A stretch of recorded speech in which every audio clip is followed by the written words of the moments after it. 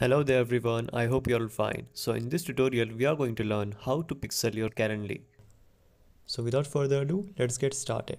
So you need to simply click on the integration option here. After clicking on it you will see an interface like this where it will show you multiple integrations option. You, you need to just scroll down until you find an option called Meta.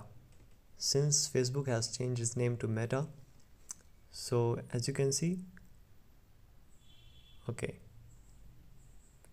You just need to scroll up and as you can see that option that option called metapixel.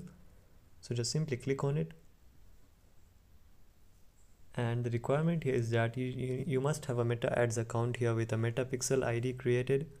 So i'm hoping you know where is your metapixel id you can also click on that blue link.